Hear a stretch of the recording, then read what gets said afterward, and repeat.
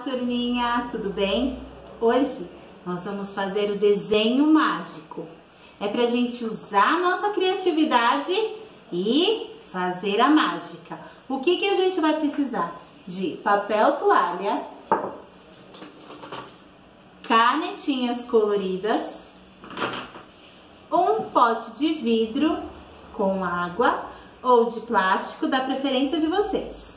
E atenção para a hora da mágica. Primeiro, nós vamos pegar uma folha, dobrar ela ao meio e cortar ela. Depois que a gente cortou ela, nós vamos fazer um desenho na parte de trás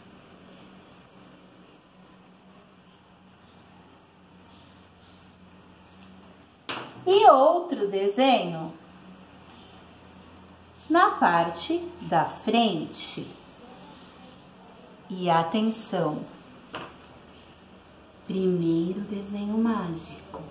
Nós vamos colocar o desenho na água e tchananã, um lindo desenho aparece. Vamos de novo? Olha esse, gente, o que será? O que será? colocou na água. E que desenho é esse? Agora é com vocês e eu quero saber qual é o desenho mágico que vai sair aí da sua casa. Tira foto, manda vídeo, que a Pro tá doida pra saber qual foi a mágica que vocês fizeram aí, tá bom? Um beijo, até a próxima!